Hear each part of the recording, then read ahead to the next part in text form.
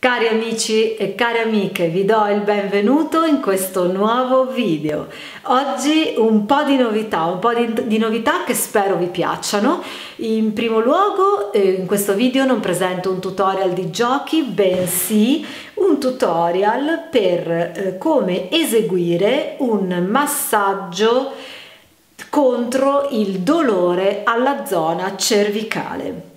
Questa è la prima novità. La seconda novità è che non sono in compagnia dei miei genitori, ma sono con mio fratello, che è fisioterapista di professione ed in questo video infatti la spiegazione su come eseguire il massaggio la darà lui. Io sarò semplicemente la persona che lo riceve. Eh, non è un video, nonostante sia spiegato da un professionista, non è un video che eh, illustra un massaggio mh, che va eseguito esclusivamente da fisioterapisti di professione, ma è un massaggio che può eseguire chiunque seguendo comunque determinate istruzioni che comunque in questo video vengono date.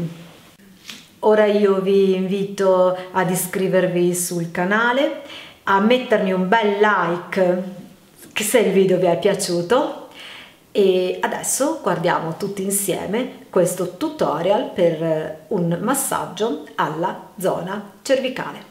Comunque andiamo a vedere qualche breve manovra di massaggio cervicale ideale per chi ha dolori da contratture o eh, posture mantenute molto a lungo soprattutto a sedere, posture di lavoro per cui cominciamo con una semplice manovra di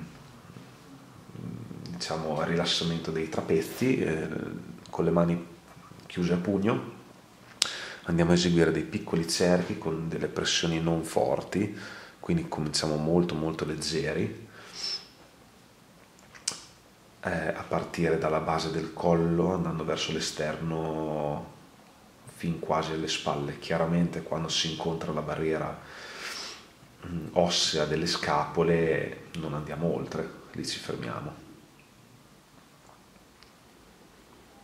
Mi raccomando, quando si fa questo tipo di massaggi, chiedere sempre un feedback alla persona, ovvero chiedere sempre se si gradisce una pressione un po' più alta, una pressione un po' più bassa e soprattutto bisognerebbe sempre cercare di stare fuori dalla soglia del dolore, quindi comunque massaggi blandi, anche perché generalmente se qualcuno si vuole fare un massaggio generalmente eh, lo fa per rilassarsi, non per uscire ancora più contratto di prima. Giusto? Giustissimo.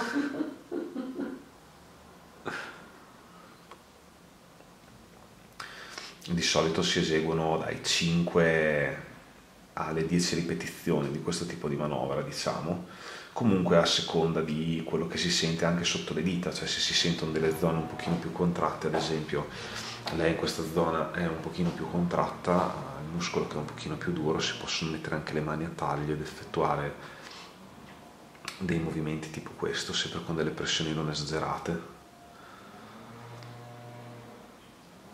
15-20 secondi, massimo 30 importante anche sentire magari un pochino i tessuti sotto la mano come, come reagiscono, insomma, se si ammorbidiscono o meno. Faccio un piccolo inciso, più che altro per una questione di sicurezza delle persone, se mm, avete davanti una persona comunque che ha problematiche differenti da un semplice dolorino al collo, come possono essere, non so, vertigini, giramenti di testa, cose del genere, è sempre meglio evitare questo tipo di massaggio.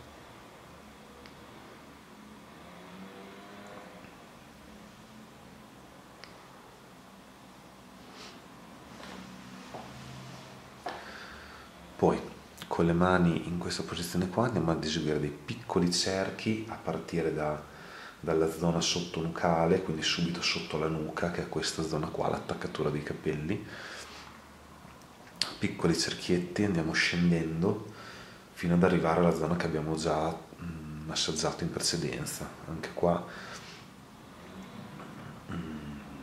5-10 mm, ripetizioni sulla zona del collo andiamoci molto delicati perché chiaramente è più sensibile rispetto alla zona dei trapezi generalmente.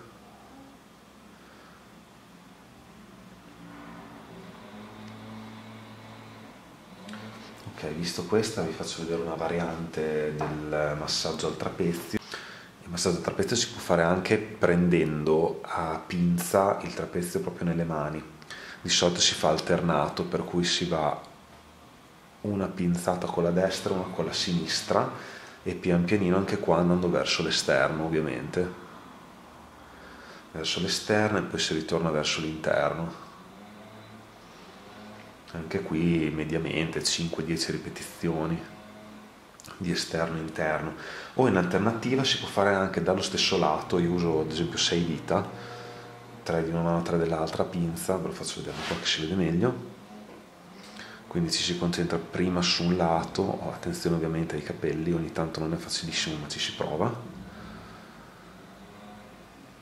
Quindi si fanno manovrine di questo tipo.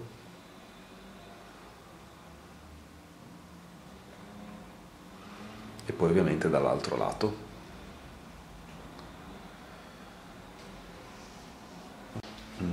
Andiamo a vedere un attimino una ultima manovra infrascapolare, anche qua eh, con la mano a pugno chiuso, diciamo. Come prima sul trapezio, anche qua andiamo a lavorare tutta questa zona tra le scapole, una zona rettangolare, diciamo si può fare o a una mano, quindi un lato per volta, o addirittura anche tutte e due, per cui andiamo anche qua a eseguire dei piccoli cerchi con la pressione che più piace alla persona, ovviamente senza esagerare. Adesso in questa zona qui grossi danni è difficile farne, però sempre meglio andarci cauti, soprattutto se non si è esperti. Dall'alto verso il basso,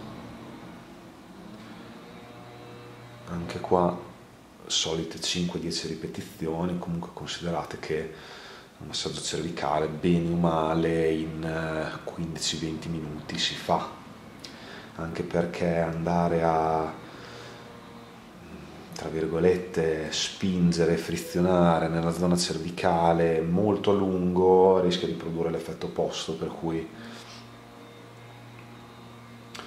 andateci blandi e con cautela insomma.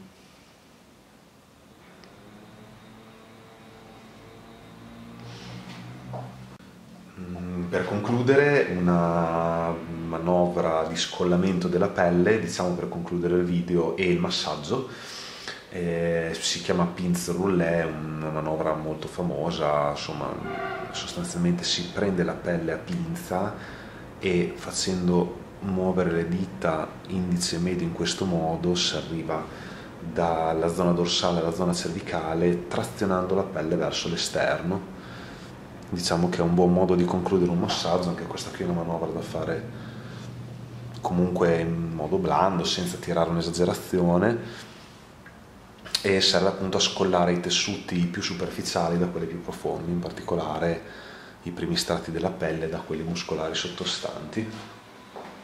Come sempre io vi ringrazio per aver scelto di seguire il mio tutorial, spero che lo abbiate trovato utile e interessante e noi ci vediamo nel prossimo video. Ciao!